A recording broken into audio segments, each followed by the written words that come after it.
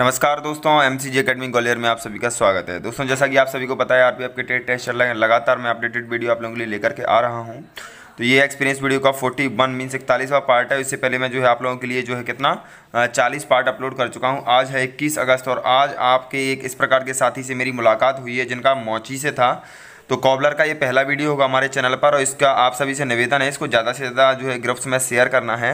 मैं बहुत कल हताश हो चुका था, इस कारण से मैंने इससे पहला वाली वीडियो थोड़ा सा होपलेस था।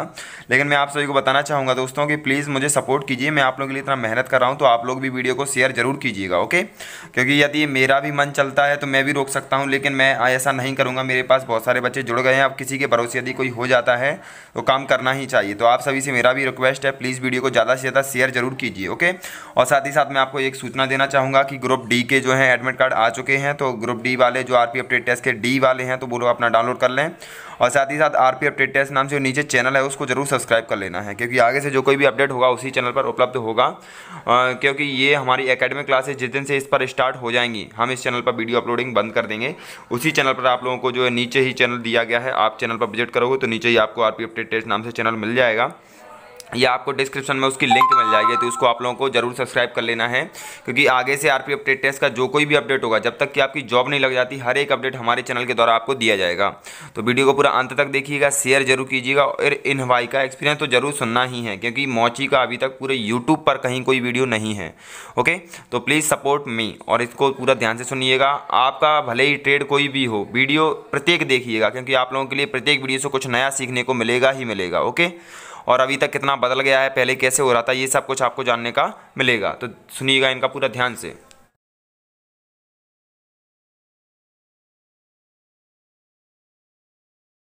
वहाँ पे रुको सर। सर नमस्कार सर मैं एमसीजी एकेडमी ग्वालियर से बोल रहा हूँ सर। हाँ बोलिए सर। आ, सर आपका जो है ट्रेड टेस्ट हो गया ना? हाँ सर हो गया। सर आपका कौन सा ट्रेड था सर? कोबलर मोची। और ग्रेड कौन सा था सर आपका? क्या सर? कौन सा मतलब ए बी सी कौन सा ट्रेड था सर ग्रुप तो ई था सर हमारा। ई ग्रुप था सर सर जो है क्या है कि कॉबलर का अभी तक किसी ने भी बनाया नहीं है क्योंकि मैं कोई फेक न्यूज़ तो दे नहीं सकता। इस कारण से आपसे संपर्क हो गया। बहुत बहुत आभार व्यक्त करता हूँ सर इसके लिए। सर आप जो है एक एक चीज़ इस प्रकार से क्लियर करना कि अपने जो बच्चे जुड़े हुए हैं उनको कोई भी परेशानी ना हो सर एक एक चीज़ इस प्रकार से क्लियर हाँ। करना कि बंदे को कोई भी परेशानी ना हो। आप ये बताइएगा आपका टेस्ट कहाँ पर था सर न्यू जलपाईगुड़ी में था sir. Sir new Paschim Bangal में न्यू जलपाईगुड़ी में था। सर तो आप ये बताइए कि आप कहाँ के रहने वाले हो? सर मैं ग्वालियर का ही रहने वाला हूँ आप है वहीं के। अच्छा ग्वालियर के ही हो मतलब मैं मेरे शहर के ही हो मतलब? हाँ सर। तो आप ये बताइए सर किस प्रकार से क्या क्या हुआ सर? मतलब आप पूरा एक्सप्लेन कीजिए सर। किस प्रकार से आप पहुँचे वहाँ पहुँचने के बाद आप कहाँ से कहाँ पहुँचे? क्योंकि आप ग्वालियर से भी तो बंदे जाने वाले हैं ना बहुत जगह के जाने वाले हैं तो आप तो वहाँ का बताइए मतलब किस प्रकार से क्या क्या बच्चों को करना है? सर वहाँ पे तो खत्म हो गया पूरा जुलाई में ही था एक दिन एक ही दिन खत्म हो गया पूरे थोड़े लड़के थे चौदह सौ अस्सी लड़के थे टोटल हाँ तो कितने दिन टेस्ट चला सर वहाँ पे? सर वहाँ पे दो दिन चला था बस। तो बताइए शुरुआत से बताइए क्या सर किस प्रकार से क्या क्या हुआ? कितने बच्चों को बुलाया था? और मतलब बिल्कुल शुरुआत से जिस दिन से आप पहुँचे दो दिन का पूरा शेड्यूल बताइएगा सर आप। हाँ, हाँ सर वहाँ पे चौदह सौ अस्सी लड़के तो पूरे रिटर्न में क्वालिफाइड हुए हैं। हाँ। पीईटी पीएमटी के लिए टेट टेस्ट के लिए सबके लिए। पीईटी पीएमटी टेट टेस्ट के लिए चौदह सौ अस्सी कैसे हो सकते हैं? सर पहले पीईटी पीएमटी के लिए बच्चे चौदह सौ अस्सी बुलाए होंगे फिर टेट टेस्ट के लिए आगे मतलब बच्चे हुए बच्चों का टेट टेस्ट हुआ होगा ना सर? नहीं सर पीटी और पीएमडी टेटर इनका मैं एडमिट कार्ड सभी का ग्रुप ई का तो ये सभी का साथ ही एडमिट कार्ड आया था। ये और, और ग्रुपों का अब आ रहा है ऐसे पीईटी पीएमटी पहले हो गया था बाद में आ रहा है ऐसा उस, उस ग्रुप में नहीं हुआ था। अच्छा सर तो बताइए थे हाँ तो वहाँ पे हम गए सुबह साढ़े छह बजे एंट्री थी हमारी। हाँ न्यू जलपाईगुड़ी पश्चिम बंगाल में। पश्चिम बंगाल में। स्टेशन से थोड़ा ही दूर है। यस सर तो वहाँ पे गए तो वहाँ पहले तो हमारा ये लाइन लगवाई गई। हाँ सर। लगा बैच बनाए गए पचास पचास लड़कों के। कितने कितने बच्चों के सर? रनिंग के लिए पचास पचास लड़कों के बैच बनाए गए थे। Yes sir. वहाँ पे पचास पचास लड़कों के बैच बना के उन्हीं लड़कों के हाइट और सीने मतलब नाप तोल हुई। उन्हीं बच्चों का ग्रुप बन गया फिर उन्हीं के साथ होना है जो कुछ भी होना है अब। हाँ उन्हीं के साथ। हाँ पचास पचास बच्चों के कितने ग्रुप बने सर? सर वहाँ तो रात के बारह एक बजे तक चला था। क्या बारह साढ़े बारह सौ ग्यारह सौ लड़के। हाँ सर। तो दूसरे दिन टेस्ट हुआ। हाँ हाँ तो पहले दिन का बताइए सर फ़िज़िकल में कैसे क्या हुआ सर? फ़िज़िकल में सर वहाँ पे दौड़ हुई दौड़ के बाद में अपना ये मतलब सीना और हाइट वगैरह नाप तो हुआ। उसमें लड़के कुछ मतलब काटे गए थे। वो जो नहीं होते लंबाई में सीना में नहीं आए थे वो दो सौ ढाई सौ लड़के हट गए थे। काय में सीने में? हाँ सीने में। सबसे यहाँ बच्चे सीने में ही बाहर हुए हैं ना? हाँ सीने में और हाइट में दोनों बरो- बराबर ही हुए हैं। हाँ। वहाँ पे लड़के बचे थे हम यही साढ़े नौ सौ हज़ार हज़ार लड़के थे हम। हाँ डे- बा डे- डे- डे टेस्ट के लिए। हाँ सर।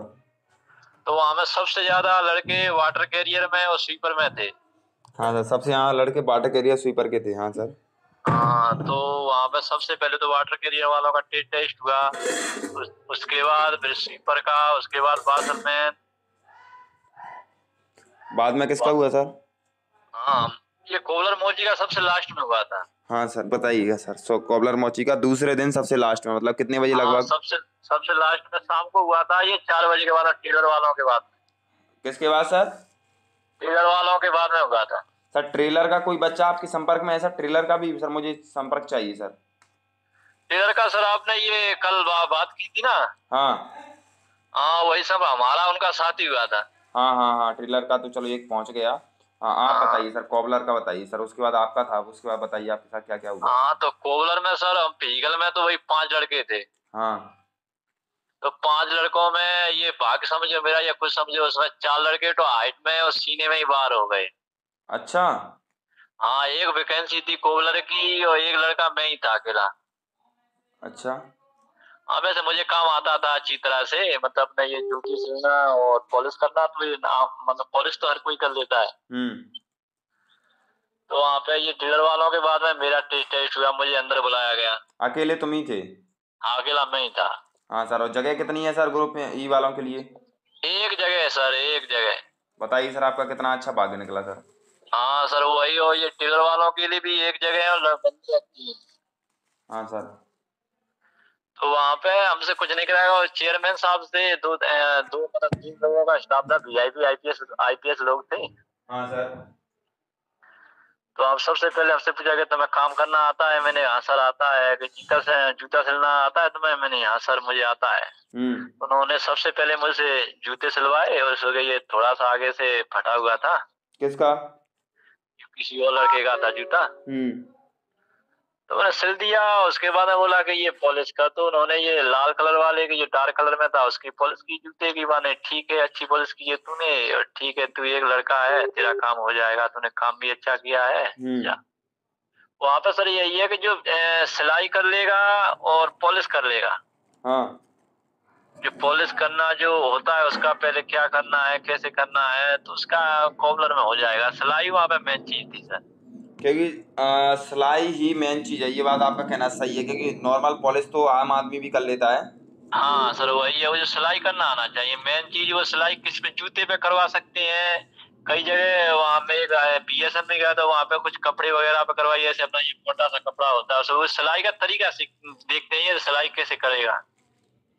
अच्छा सर। हाँ। तो उसके बाद सर जैसे सिलाई आपसे करवाई तो सिलाई आप बताइए सर किस प्रकार से बच्चे करें जैसे उनका सिलेक्शन हो जाए। सर मुझे तो मेन टारगेट यही है कि बच्चों का ज़्यादा से ज़्यादा सिलेक्शन होना चाहिए सर। सर सिलाई जब सिटी में रहते हैं कहीं रहते हैं ये मोची वगैरह होते हैं ना उनके पास जाकर कोई ज़्यादा काम नहीं है। उसमें एक थोड़ा सा डाल सुई डालनी है निकालनी हुई इसमें एक मतलब वो होता है तरीका उसमें एक मिनट में सीख जाएँगे उस तरीके कोई ज़्यादा वो हार्ड नहीं है। एक मिनट में? हाँ एक मिनट में एक मिनट लगेगा बस वहाँ पे। कुछ नहीं उसमें डालना है वो एक एक धागा खींच के उसमें वो डालना है बस ये सिर्फ़ एक मिनट लगेगा सीखने में उन्हें। ये मतलब मेन चीज़ यदि किसी ने वो सीख लिया तो हो गया उसका यही मानो हाँ सर सिलाई सीख गया तो उसका काम हो गया। ये आप भी जानते हो पॉलिश तो हर कोई कर लेता है अपने घर पे भी करते हैं जूते। तो मतलब यही तो क्या है बंदों को पता ही नहीं था कि क्या क्या करवाया जा रहा है। अब आपके क्या एक्सपीरियंस मिल गया तो अब बंदे क्या तैयारी कर सकते हैं अपना समझ रहे हो? हाँ सर ये है वहाँ पे ये क्या कि शायद किसी ग्रुप में अगर ज़्यादा लड़के हो तो औजारों के नाम भी पूछ सकते हैं तो औजारों के नाम भी ज़रूर सीख के जाए। हाँ मतलब जो जो औज़ार वहाँ पे यूज़ किए जाते हैं उन सब के नाम?